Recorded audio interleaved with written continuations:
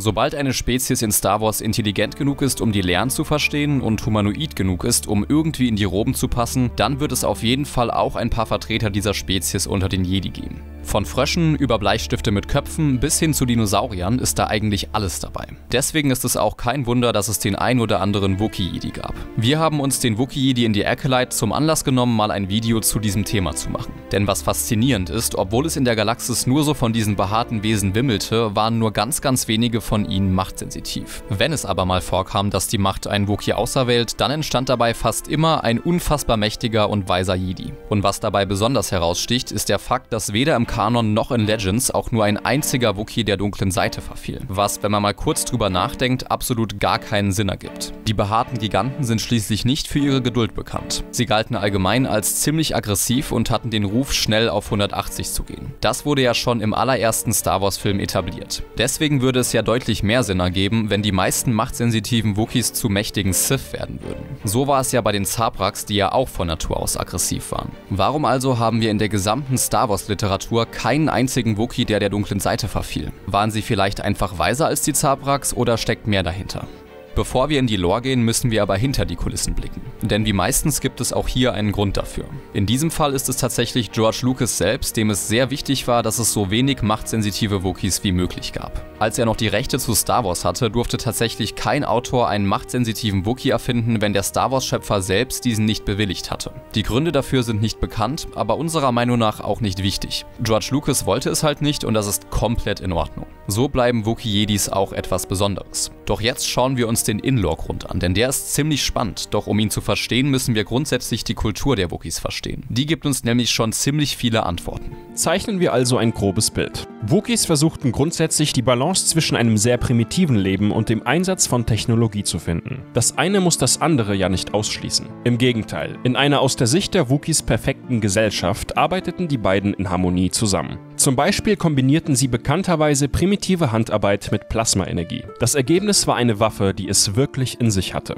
Wookiees lebten in Baumhäusern, meistens auf Kashyyyk, deren Ausstattung ziemlich einfach gehalten war. Dekoriert wurden sie lediglich mit Trophäen, die sie im Kampf gewonnen hatten. Sie waren nämlich größtenteils sehr pragmatisch. Etwas musste einen praktischen Nutzen haben, um wirklich einen Sinn zu haben. Das galt für jeglichen Besitz. Wookiees hatten außerdem einen starken Zusammenhalt. Mut, Loyalität, Ehre und Freundschaft zählten zu ihren wichtigsten Werten. Wenn Wookiees friedlich waren, waren sie sehr sanfte, wohlwollende Wesen. Sie hatten allerdings, wie am Anfang schon erwähnt, ein Temperament. Und wenn ein Wookiee wütend war, konnte er förmlich explodieren. Meistens endete das dann in einem heftigen Wutanfall, der erst nachließ, wenn die Quelle seiner Wut beispielsweise eine Person genug Schaden genommen hatte, damit der Wookiee zufrieden war. Und obwohl Wookiees den Ruf einer Kriegerspezies hatten, waren sie das eigentlich nicht. Natürlich konnten sie kämpfen, wie man in Episode 3 sehen kann. Doch sie kämpften nur für Ehre und viel wichtiger für ihr eigenes Überleben. Ein Kriegsvolk wie die Mandalorianer hingegen suchte aktiv den Konflikt. Und das allein widerspricht ja schon der Sith-Ideologie.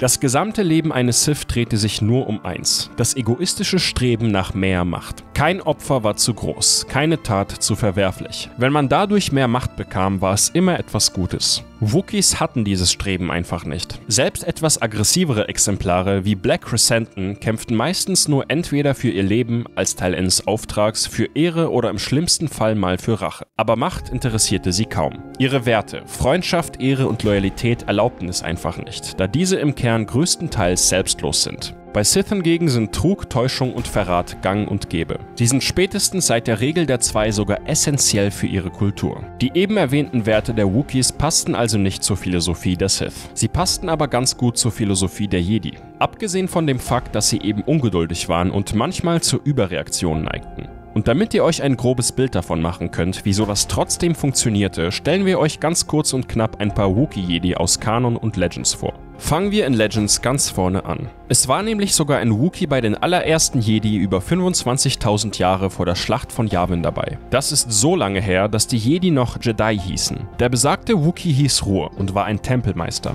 In diesem Fall nicht vom Jedi-Tempel, sondern von einer Trainingsakademie für Jünglinge. Ruhr galt als weiser Meister, der immer versuchte, das Gleichgewicht der Macht zu wahren. Er war sowohl ein sanfter Mentor für die Jünglinge als auch ein großer Krieger. Er vereinte also die beiden essentiellen Aspekte der Wookiee-Kultur perfekt. Ein anderes Beispiel wäre Kurlaka, eine weibliche Wookiee, die während den Klonkriegen wie auch Syndralic eine Schwertmeisterin im Jedi-Tempel war. In Legends gab es auch Low Barker, der nach den Geschehnissen der Filme ein Schüler in Lukes Jedi-Akademie war. Er liebte Kämpfe und Schlachten, versuchte aber trotzdem den Frieden zu wahren. Zu Gunji müssen wir, denke ich, nichts sagen. Den sollten alle von euch kennen. Und selbst wenn nicht, seine Geschichte ist höchstwahrscheinlich sowieso noch nicht zu Ende erzählt. Ein letzter erwähnenswerter Wookiee-Jedi, der unserer Meinung nach auch der interessanteste war, ist Taiwaka.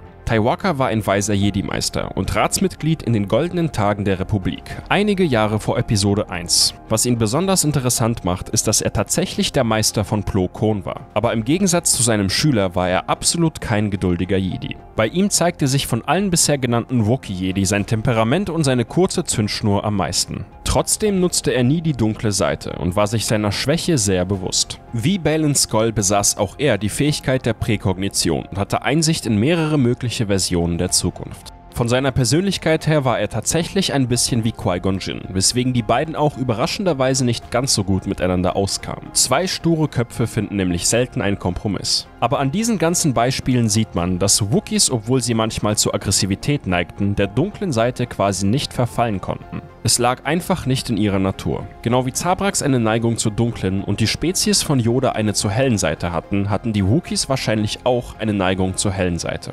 Das ist allerdings von unserer Seite nur reine Spekulation, würde aber Sinn ergeben. Um es zusammenzufassen, ein Wookie könnte niemals einen Freund oder Verbündeten hintergehen und seine Grundsatzwerte wie Ehre, Loyalität und Freundschaft waren nicht mit der Sith-Philosophie vereinbar. Doch bevor wir dieses Video beenden, haben wir noch ein großes Aber, denn es gab auch Ausnahmen. Damit meinen wir nicht, dass es doch einen Wookiee-Sith gab, den wir erst jetzt erwähnen, sondern dass es auch Wookiees gab, die diese Werte nicht hatten und gute Sith hätten werden können, wären sie machtsensitiv gewesen. Bevor wir hier den Konjunktiv noch weiter missbrauchen, werden wir mal konkret. Es gab im Spiel Knights of the Old Republic 2 einen Wookiee namens Han Ha. Hier gibt es das Gerücht, dass die Entwickler anfangs tatsächlich vorhatten, dem Spieler die Option zu geben, ihn entweder zum Jedi oder zum Sith zu machen. Lucasfilm war allerdings dagegen, höchstwahrscheinlich wegen der am Anfang erwähnten Regel von George Lucas und deswegen wurde Han Ha gar nicht machtsensitiv. Und jetzt zum Grund, wieso wir ihn erwähnen. Der Wookie war auch nicht machtsensitiv, einfach nur böse. Bei ihm handelte es sich um einen Soziopathen, der sein gesamtes Dorf ermordete.